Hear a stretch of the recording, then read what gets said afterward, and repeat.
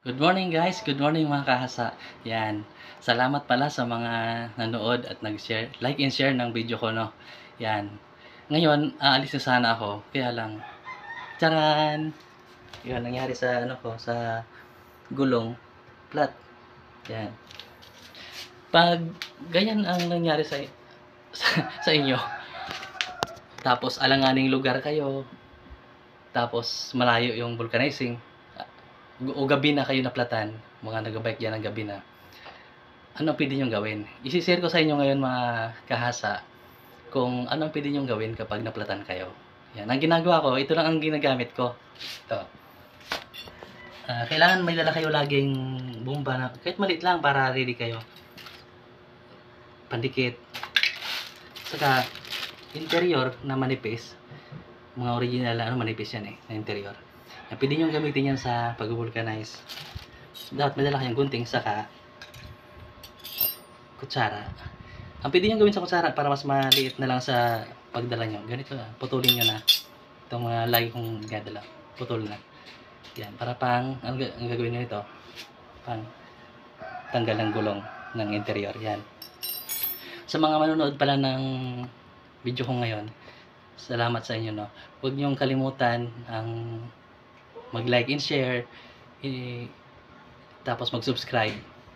Saka, huwag nyo rin kalimutan yung pindutin yung notification bell para updated kayo sa mga susunod kong video. Ang video ko kasi mga may aral, may matutuhan kayong magandang idea. Yan.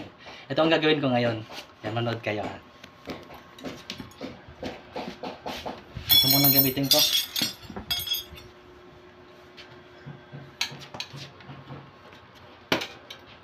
Oh, Pia, mani popcorn.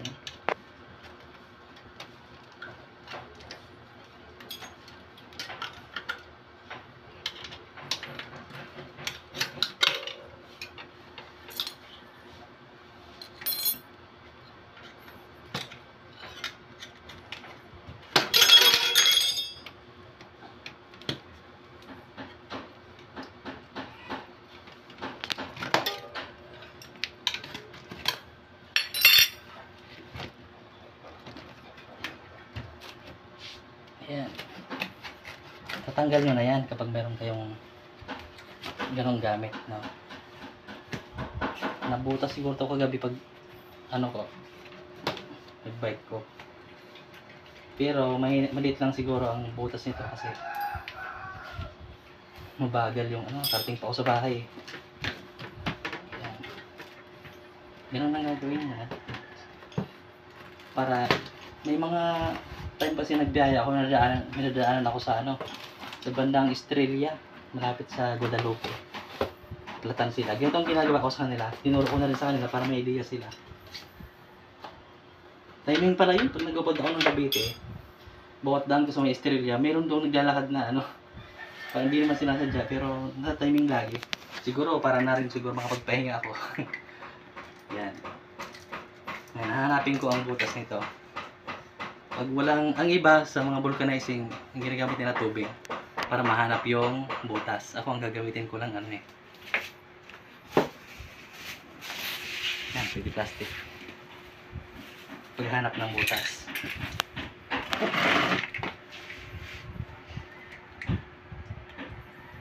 Yan, magandang idea to eh.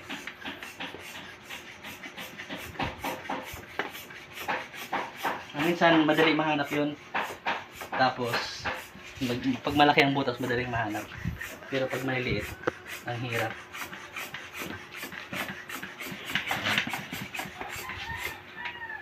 Yan, narinig ko na.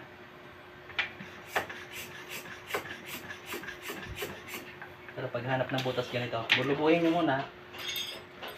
Minsan kaya lang hanap, paghanap ng ganito. Malaki ang butas pala.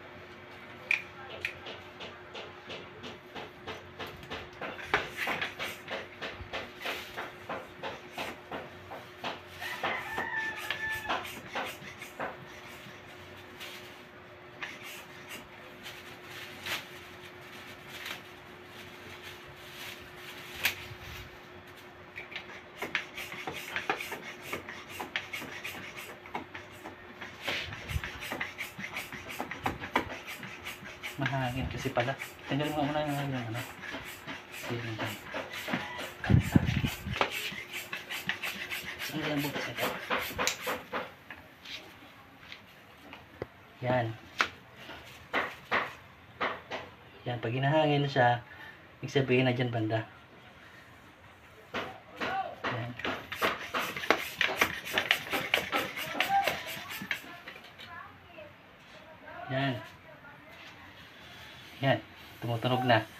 Sabihin, dyan ang butas.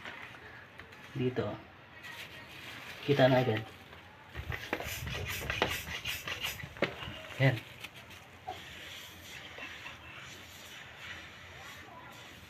Yan ang butas niya. Matunog sa plastic eh. Lalo na yung mga plastic na matunog talaga. Pag naano ng hangin, kita nyo na agad. Ah, yan, sample. Oh, narinig nyo siguro ang tunog. Yan, yun ang butas niya. Ano kaya, ano ka, ano dito? Yan. Tingnan, ano ba niya, naipit lang. Sa loob eh. Pag sa loob, naipit. Yan. Ano ang pwedeng gawin?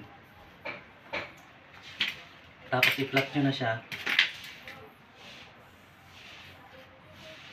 Luwasan nyo ng hangin. Yan, nakita ko na rin naman. Yan to. Para makita nyo kung saan banda yan, iganyan nyo ulit yung saan yung pito. Yan, ganyan.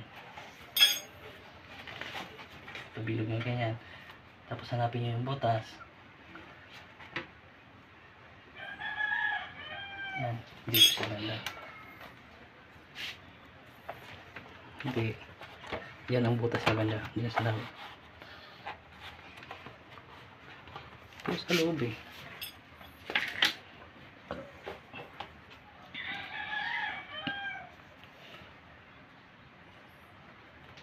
Ibig sabihin, ang nangyayari dito sa loob. May sugatan siya sa loob. Ah, pero mamaya,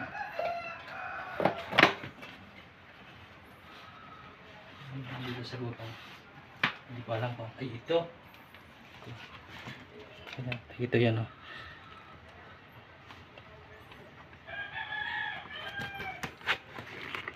Yan na, tinik. Yan, bago na. Natinik siya. Medyo manipis na rin kasi yung dulong ko. Yan, pakita ko yan. bahay.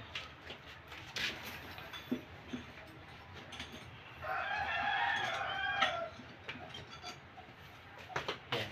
Susunod yan lang.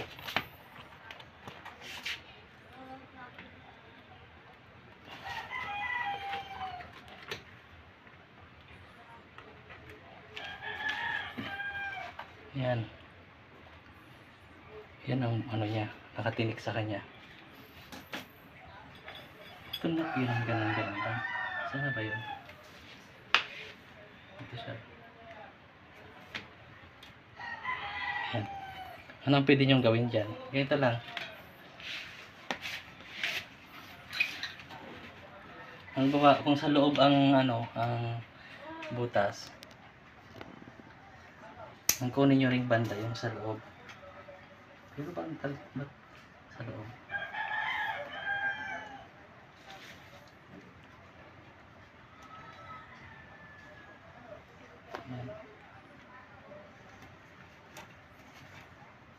Ang kunin nyo rin sa loob.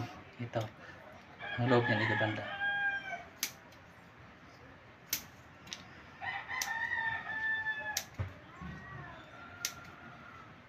Emergency ano to? Vulcanizing. Kasi yung iba maglalakad sila ng napakalayo lalo pag gabi na. Pero ito tumigil ka muna saglit. Mga hindi ka na kailangan magpainit ng ano yung pang vulcanize na ano na parang guma ang gagawin mo lang ganito. Una dikitan mo yung bandang sugatan. Saan ba yun? Ito. Pero parang hindi ito ang butas niya. Ito yan. Dikitan nyo muna siya. Tapos, bago siya tumigas, dapat may lapat nyo na yung pangtapad. Yung, yung ano, itong ginapit ko na interior. Yan. Dikitan nyo yung ganyan. Mga ilang second lang. Titigas na yan. Para yung doon sa ano, pangasa. Ilang second lang titigas na yan. Hintayin nyo muna tumigas bago mo yung pasok doon sa exterior. Yan. Nanginig ang kamay ko ah. Tapos, charan! Charan na naman. Yan. Hanapan pa natin ng ibang butas. Baka may butas pang iba. Yan, titigas na yan ng... Ang tanong ko, ba't sa loob? Di ba bang ba't butas to? Ibig sabihin, kasi sa loob yung butas. Tapos may tinik. Paikot siguro to sa loob. Dito sa... Ay, yung gilid. Ba ang...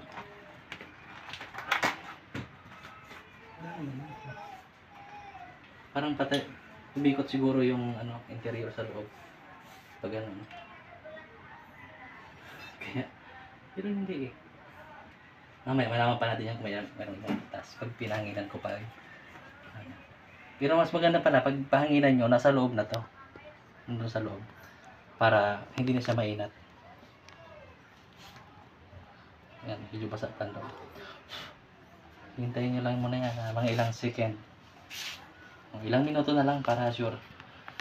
Yan, pwede na kayong mag-bike ulit sa pupuntahan nyo. Siguro kahit awat pa yan ng ano, ng mga ilang linggo, hindi pa yung natatanggal. Pero makakapunta na kayo sa paroroonan nyo. Yan. Yung na, nadaanan ko dun sa Estrella na ginawa ko ganito yung bike niya. Dalawang bisis, yun. Papunta sila ng, sa Estrella pa lang sila, papunta sila ng Marikina. Yung isa taga, ano, taga Paranaque. Yung isa taga Marikina talaga nagtatrabaho sa Mall of Asia.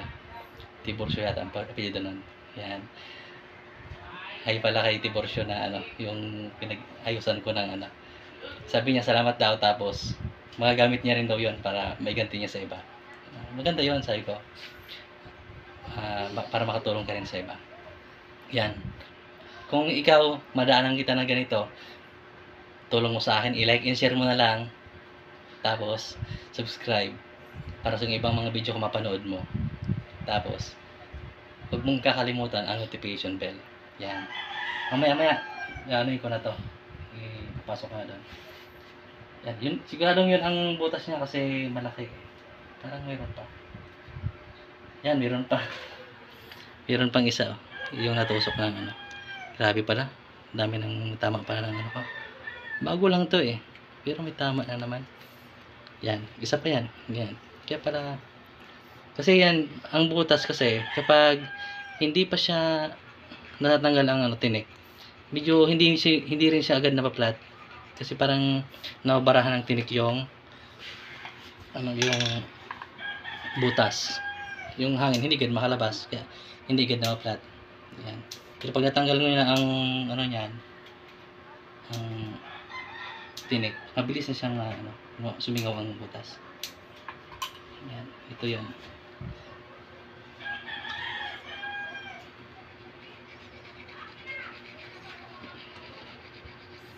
Yung madidikit pala na ano, yung masyadong ano, yung original ang ano, sus glow. Yung mapula masyado, hindi yung blurred. Yan, ang original. Yung iba kasi yung pike, yata yon pike talaga. Maano, parang tubig lang, hindi na dikit masyado.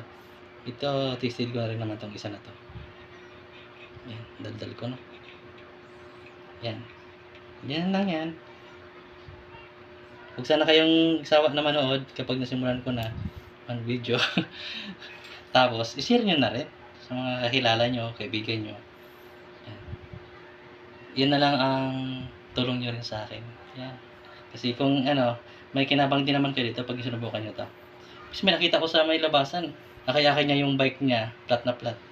Siguro pwede niya sanang gawin ganito, yung ganito. Bago siya pumunta ng vulcanizing. Tapos pwede mo itong tanggalin pagdating mo sa vulcanizing shop.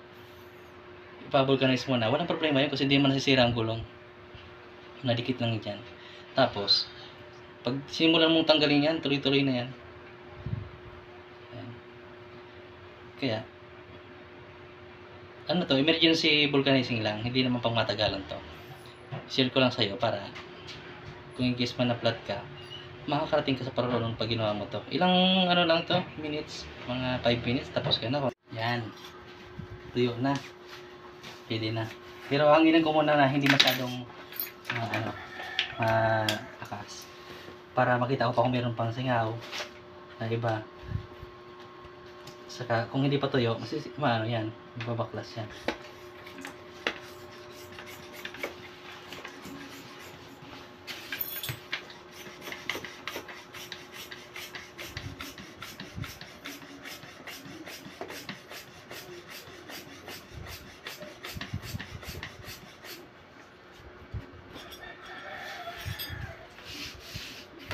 Wala na siya. Wala nang butas.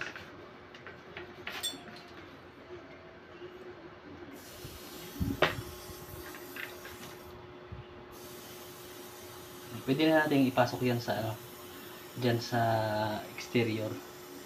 Tapos, makakaalis na. Makakaalis na. ako.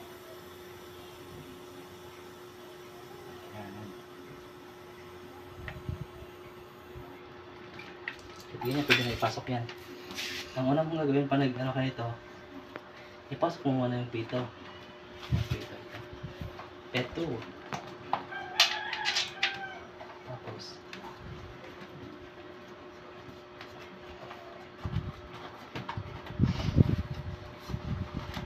Ganda pala pag ipinasok yung medyo may hangin na rin. Para sakto na sa interior. Yan. Sa mga ano lang to ha, mga bike, sa motor mahirap. Baka bumigay rin. Yung hindi ko pa na-testing kasi wala man akong motor. wala pa akong motor. Pag kumita ako sa YouTube, ay sa vlog. Ang una akong bibihin motor. Subok lang. Subok lang kung talagang kumikita ang vlog. Hindi ako naniniwala kasi nung una eh.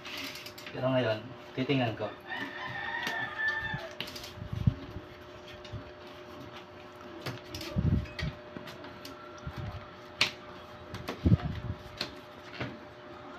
Charan!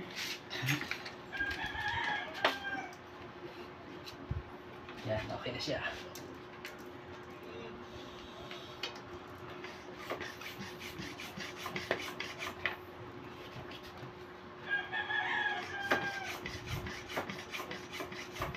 Pag mas may hangin na pala yung ano, interior, hindi siya naiipit ng gulong kapag binumbahan mo na. Pero pag wala, yan ang naiipit minsan tapos nasugatan.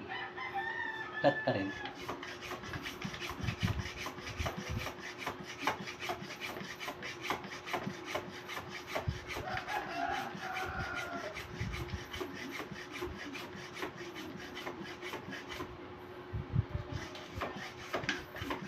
Okay na. Okay na to. Ayos na. Thank you.